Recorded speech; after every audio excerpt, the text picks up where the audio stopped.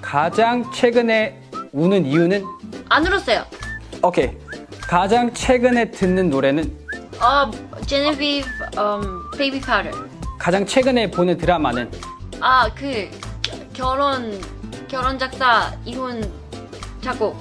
그리고 어제 몇 시에 잤는지 어제 어, 어제 새벽 2시 반. 꼭 이제 가방에서 챙겨 나가야 하는 거 세 가지. 어, 지갑 어, 입술 바르는 거. 음, 집 키. 어, 최근에 입버릇은 음, 이거 되게 많이 해요.